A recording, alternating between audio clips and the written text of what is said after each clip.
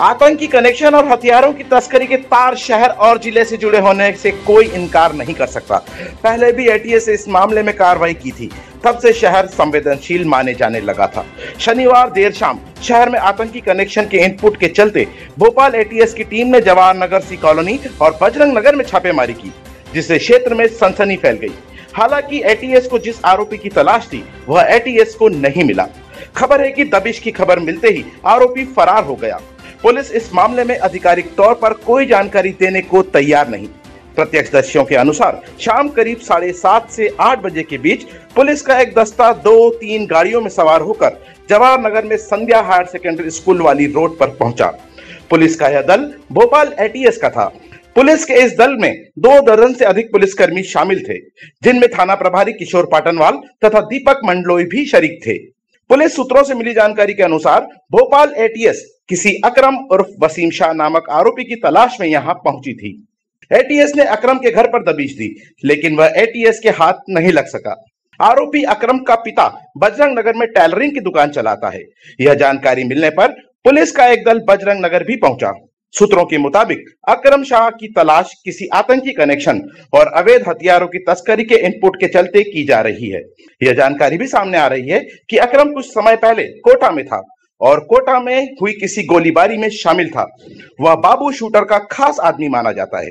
वह जितेंद्र हिंगड़ की हत्या के लिए आए शूटरों में भी शरीक रहा था। उसकी तलाश में कोटा पुलिस भी रतलाम आ चुकी है। यहाँ एटीएस की टीम ने शाहरुख नामक युवक से भी तलाशी ली। एटीएस को अक्रम को पकड़ते समय किसी मुठभेड़ की शंका थी। इसे देखते हुए टीम और पुलिस आधुनिक हथियारों और जैकेट से लेस दबिश में एटीएस टीम ने घर की तलाशी ली और सीसीटीवी कैमरे भी देखे। दबिश के बाद दल लौट गया। इस मामले में पुलिस अधिकारी कुछ भी कहने से बचते रहे।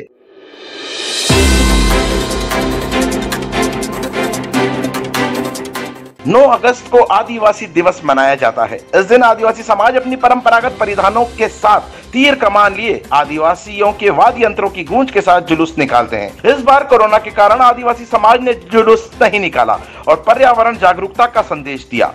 डोसी गाँव में पौधारोपण किया गया। इस मौके पर मास्क का वितरण कर कोरोना से बचने, सोशल डिस्टेंसिंग की सलाह दी गई। इस अवसर पर आदिवासी संगठन के पदाधिकारी उपस्थित थे। आज विश्व आदिवासी दिवस हमारा प्रोग्राम था, जिसमें क्या सारे आदिवासी जन मिलकर और गाँव के लोग मिलकर हम ये प्रोग्राम करते हैं। और इस बीच में कोविड को देखते हुए हमने इस बार प्रोग्राम को व्यवस्थित नहीं किया था वह पौधारोपण किया, वह मास्क वितरण किया और गमछा वितरण किए यहाँ पर धन्यवाद।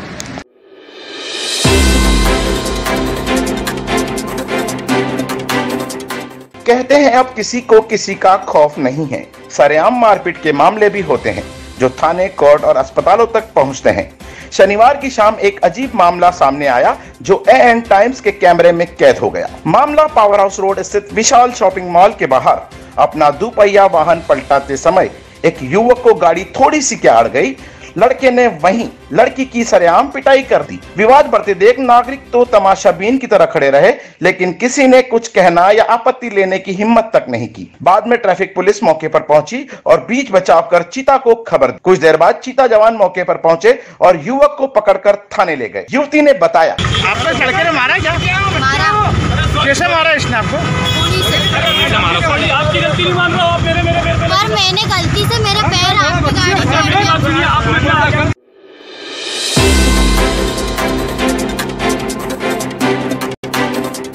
बारिश शुरू होते ही लापरवाहियाँ सामने आने लगी है। इसी लापरवाही ने फिर एक पशु की जान ले ली है। रविवार की सुबह मोमिनपुरा क्षेत्र में बिजली के पोल से करंट लगने से एक भैंस पोल पर ही चिपक गई। भैंस को बचाने के लिए हाली ने जब प्रयास किए तो हाली को भी करंट लग गया।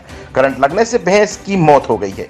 वहीं हाली भी घायल हो गया। मामले की जानकारी देते हुए क्षेत्रीय नागरिकों ने बताया। ये भैंस को करंट किससे लगा? क्या कारण रहा? ये भैंस को एक छुड़ी थी पानी पी रही थी। तो एक खंबे के अंदर करंट आ रहा। खंबे के अंदर वो क्या है कि फंस गई वो फिर करंट करंट लग गया उसको गिर गई मई के मई। और ये बा साहब जो है भेज चरा थे। इन्होंने क्या है कि इनको भी करंट लग गया था लकड़ी से इनको जो है दूर करा हमने। अब वो लकड़ी से दूर करने के बाद लकड़ी से दूर करा हमने इसको। फिर ये भैंस फंस गई। हमने फ़ोन लगाया वहाँ पे पावर हाउस में भी। तो वहाँ पे से भी आदमी उन्होंने एक घंटा उन्हें आ गया मगर कोई ना तो आया ना हमने बोला वो लाइन बंद कर दो इतना हम भैंस को निकाल सकते हैं। वो लाइन बंद करी उसके पाँच पाँच मिनट में जब मरी हो भैंस एक कलाक में कम से कम जब जब मरी भैंस हमने फ़ोन लगा लाइन बंद कर देता अगर वो तो भैंस बच जाती उसका छोटा बच्चा आठ दिन का भी तो। लेट आए इसमें किसकी लापरवाही? एम पी वालों की लापरवाही एम पी वालों की लापरवाही के खिलाफ है क्योंकि ये केबल जो है दो तीन दिन पहले भी ये चेंज करके गए थे उसके वजह से क्या है कि भैंस करंट करंट लगने की वजह से मरी है। कारण ये रहा है कि इसमें दो तीन दिन पहले उन्होंने काम करा था उसमें भी शायद इनकी ढील पोल ले रही है कि इस करंट का करंट फैलाएगा और इसमें बेस निकल रही थी तो अचानक बेस फंस गई। लाइट केस में। तो वो करंट में इतना पावर था कि उसमें चिपकी गई वो बिल्कुल। सूझ ही नहीं पड़ी उसको दो पाँच मिनट में पूरा फिनिश हो गई वो। और इस कारण में एक इनका जो काम करने वाला है जो मदन नाम है इनका उसको भी आया वो छुड़ाया उसको भी करंट लगा उसको भी लट से मार के यहाँ के रागिरों ने और सभी ने छुड़ाया। और ये, यही कारण है कि ढील पोल बहुत ज़्यादा हुई है और नुकसान भी हुआ है जिनकी बेस है उनका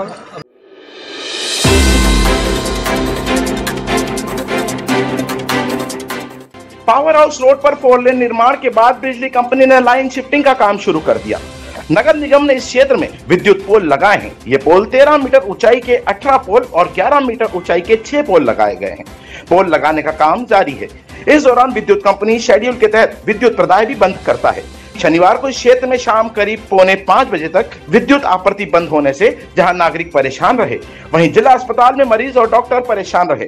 सोमवार को आईडीपीएस के तहत विद्युत कंपनी पोल लगाने और तार खींचने का काम करेगी। इस दौरान कंपनी डोंगरे नगर और आसपास के इलाकों की विद्युत आपूर्ति सुबह दस बजे से दोपहर दो बजे तक के लिए बंद करेगी। दो दिन पहले भी कंपनी ने इस क्षेत्र के करीब सात घंटे बत्ती गोल करी थी।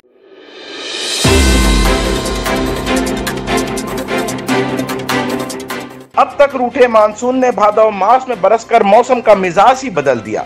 रविवार तड़के सुबह से शुरू हुई रिमझिम बारिश से पानी की चिंता में डूबे नागरिकों और किसानों के चेहरे खिल उठे। पूरा सावन प्यासा ही गुजरा। बारिश नहीं होने पर पोखर तालाब भी सूखने लगे थे। अब उम्मीद जताई जा रही है कि भादवा मास में यदि बारिश लगातार हुई तो पानी की पूर्ति हो जाएगी। मौसम विभाग ने बारिश का यह सिलसिला जारी रहने का अनुमान लगाया है।